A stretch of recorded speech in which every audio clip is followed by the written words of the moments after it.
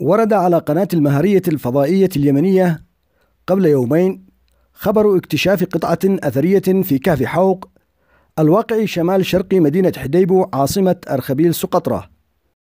وأضافت المهارية أن القطعة تعود إلى العام 700 قبل الميلاد مكتوب عليها بخط المسند ما يلي. أنا عبقر بن أبسو مايا أرجو ممن يصل إلى هنا أن يكتفي بقراءة هذه اللوحة ولا يعبث بها وأن الله سوف يحفظه.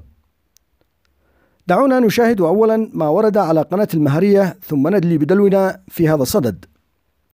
وجدت قطعة أثرية في كهف حوق الواقع شمال شرقي مدينة حديب وعاصمة أرخبيل سقطرى القطعة القطعة التاريخية تعود إلى عام 700 قبل الميلاد مكتوب عليها أنا عبقر ابن أب سومايا. أرجو ممن يصل هنا أن يكتفي بقراءة هذه اللوحة. ولا يعبث بها وإن الله سوف يحفظه. كانت تلك العبارة منقوشة بخط المسند على لوحة خشبية تعود إلى عام 700 قبل الميلاد. مصدر آخر يعطينا معلومات مغايرة تماما لما سمعناه في تقرير قناة المهرية. إذ يقول هذا المصدر أن هذه لوحة خشبية تعود للعام 569 ميلادية منقوش عليها بالخط التدمري. والنص باللغة التدمرية. وقد سبق لخبير الكتابات القديمة الفرنسي كريستيان روبن مع ماريا غوريا فك رموز اللوحة وترجمتها كما يلي.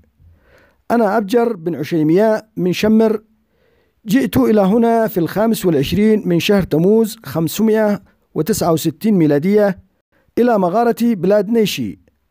فليبارك الرب الذي قادنا إلى هنا. وكل من يقرأ هذا اللوح وليبارك كل الذين يتركون اللوحة في مكانه. بالنسبة لي شخصيا فأنا أرجح ما أورده المصدر الثاني خصوصا أن ما نشاهده على هذا اللوح ليس خطا مسنديا على الإطلاق ولكنه يشبه خط الزبور لكنه ليس زبوريا أيضا. لذلك نرجح أنه بالفعل تدمري.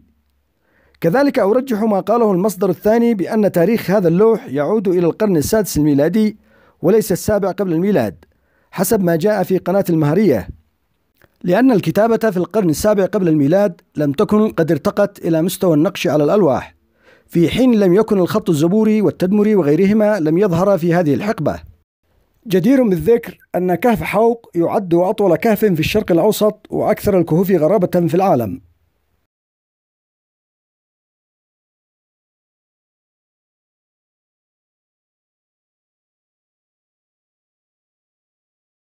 هذا وأترك القول الفصل لعلماء الآثار الأجلاء. ليدلوا بدلوهم الصحيح حول هذه القطعة وما ورد فيها. والله ولي التوفيق.